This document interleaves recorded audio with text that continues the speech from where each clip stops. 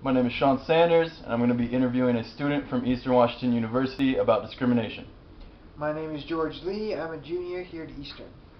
George, could you tell me an instance in which you were discriminated against here on campus? I was taking a math 104 class, and it was the first day of class, and I was sitting next to somebody, and this person said, Wait, aren't you supposed to be good at math? I mean, you're Asian, you're supposed to be good at math. And I told him, I said, I said, well, I said, not every, not every Asian is good at math. He then proceeded to tell me, well, you must be dumb then. And I said, okay, whatever you wish to think, but, you know, I'm not dumb. So how did that situation affect you? How did it make you feel? What was the aftermath of that situation? Well, I take math based on what I what I know I can do, and I do it at my own pace. I don't need somebody else to tell me, you know, where I should be. You know, as far as what classes I take, that's not for them to decide. That's between me and my advisor, me and my parents, depending. That's between me. Nothing to do with them. I felt pretty, you know, I, I don't feel pissed because people have been saying that to me for the longest time.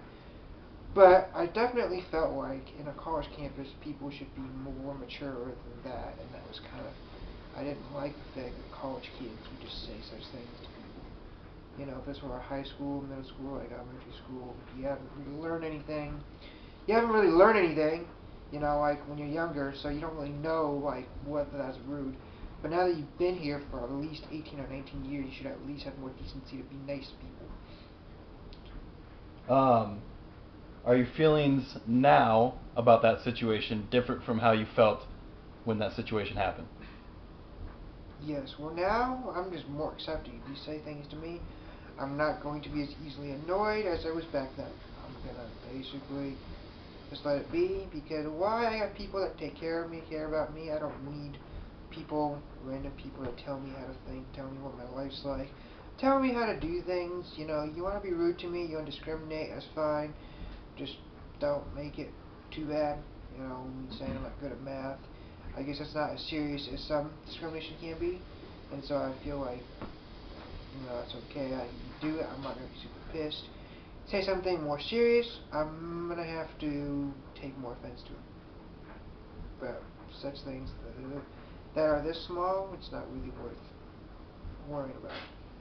Even though you think this situation is small and um, you said you are more accepting of things that people might say in that subject where you're supposed to be able to know math because you are a certain race. Um, do you still think that's okay? Do you think it's okay for people to say that? No, I don't think it's okay to say that because obviously everyone's different.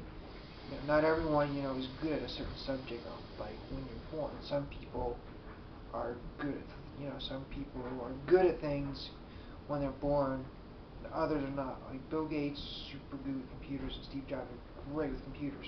Mm-hmm. Right, and I guarantee you that they were probably born, probably they, they probably learned that at an early age. They're probably just naturally good at it. Some people are naturally good at math. I'm not one of them. Okay, that doesn't mean just because an Asian doesn't mean I'm supposed to. Everyone's different. You can't just assume because he's of that certain race that person be good at things. That'd be like saying Like saying the same as like. That'd be like saying the same as like a Hispanic person, you know, being good at picking fruit or being good at mowing the lawn because they always, because they always, because you see them doing it. That's not okay to say. Like, as true as that may be, that's not okay to say. You say that, somebody's gonna, you, you know, you're not gonna make many... you're not gonna make very many friends with it. Same thing. It's not okay to say somebody's good at math because they're a certain race. I agree, George. Have you had any changes in your experience here on campus since that incident occurred? What do you mean by like changes? I mean, have people either treated you worse than that person has in that math class, or have they been treating you better since that situation occurred? I think the fact that I'm ignoring I think the fact that I'm ignoring those things that people say, I just kind of don't listen to it. I think that's probably what's made it better. In the sense that, you know, if I worry about it, people are always going to be mean to you if you just let those people kind of leave your life.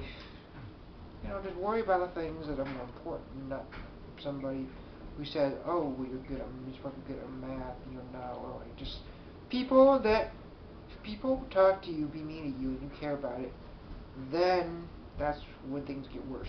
You learn to just let it be, unless, of course, it is a very serious instance. Unless, uh, unless this person really discriminates you like pretty badly, like takes it pretty far, uh, pretty far. Talk about your family, or like just you know your.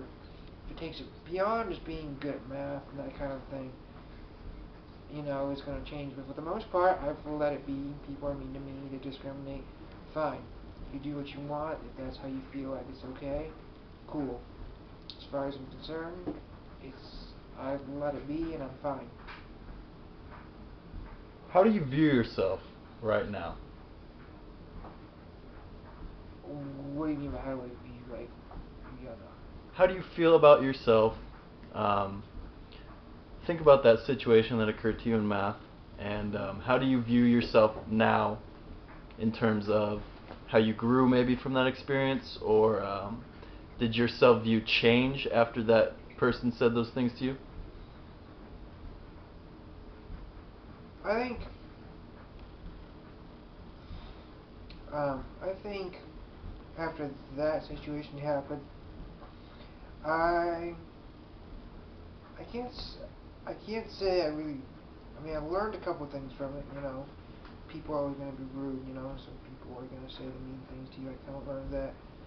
But as far as you know, but as far as did I really learn anything that really meant anything to me? Not really.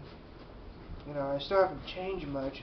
That wasn't that instance wasn't the reason that caused me to ultimately be who I am now. Um, you know, that wasn't the reason why.